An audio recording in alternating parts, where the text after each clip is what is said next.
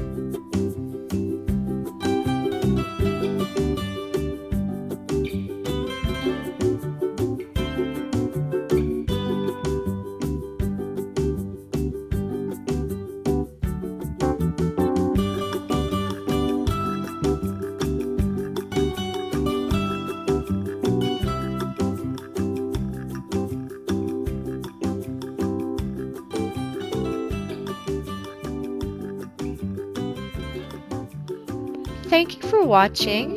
Please like, subscribe, and leave a comment. Have a great day.